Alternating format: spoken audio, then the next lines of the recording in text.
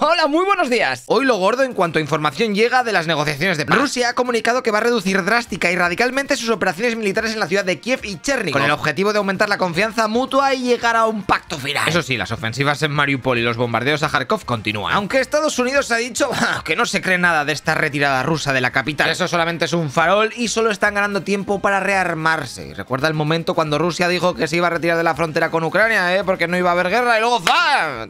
Ucrania ha comentado oficialmente por quinta vez o así, que van a ser neutrales y no van a entrar en la OTAN ni van a dejar que otros países instalen bases en su territorio. Pero eso sí, quieren que ocho naciones extranjeras puedan garantizar la seguridad del país, entre los que estarían Estados Unidos, Reino Unido, Francia, Canadá, Polonia, Israel y Turquía. Putin parece que podría aceptar que Ucrania entrase en la Unión Europea en el futuro. Ya te digo que si lo consigue, estaría en el mismo estatus que Finlandia, Suecia, Irlanda, Malta, Chipre y Austria, que son miembros pero no forman parte de la OTAN. Pero sí, los rusos siguen reclamando controlar Crimea y las zonas indepes de Donetsk y Lugansk. Y en esto último, oh, Zelensky no traga y ha dicho que, bueno, eh, dejamos un periodo de 15 años en donde no reclamamos esos territorios, pero que luego vuelvan a Ucrania. O sea que aún tienen que seguir hablando para llegar a un pacto final. Esta guerra, según estimaciones, está llevando la vida de unas mil personas diarias entre los dos bandos. Y el ejército ruso ya habría perdido casi el doble de unidades en un mes y poco que las que perdió Estados Unidos en 19 años con las guerras de Irak y Afganistán. Un poquito más al este, China está bastante enfadada con Estados Unidos y le ha acusado de intentar crear una OTAN asiática y es que ahora los del tío Sam se han puesto a realizar unas maniobras con el ejército filipino. Y para contrarrestar esto, el ministro de Exteriores chino lleva varios días de gira por Pakistán, India y Afganistán para pillar apoyos y que estas naciones no sean tan amigas de los yankees. Pero vamos, comentarte que Estados Unidos por Asia tiene montado el Quad. Es un foro militar en el que están los países de Australia, Japón, India, Estados Unidos, obvios, y seguramente próximamente Corea del Sur. Y si ya hemos hablado muchas veces de cómo la guerra está beneficiando económicamente a Estados Unidos, China no se queda atrás. Porque se espera que las empresas del gigante asiático se coman todo el pastel que han dejado las occidentales en Rusia por culpa de su huida con esto de las sanciones. Pues sale otro mercado más. Madre mía, este server es una fusión del Risk y el Monopoly. Ah, y hay gente que a lo mejor no se ha enterado, ¿eh? Pero esto es una guerra. Y como siempre, algunos de los soldados de ambos bandos van a hacer auténticas barbaridades tanto a civiles como a soldados capturados enemigos. Tranquilo, ya te digo que si esos casos aislados se convierten en norma, yo te lo voy a contar. De todas maneras, te digo que para toda la gente que estáis apoyando económicamente por Patreon, eh, seguramente poco a poco haya vídeos con antelación que podáis ver antes del resto de los mortales, ¿vale? Estoy trabajando en ello. hasta entonces todavía tenéis contenido del otro canal, del de a toda leche, que está guapísimo. Venga, tíos, hasta luego, loco Pixas.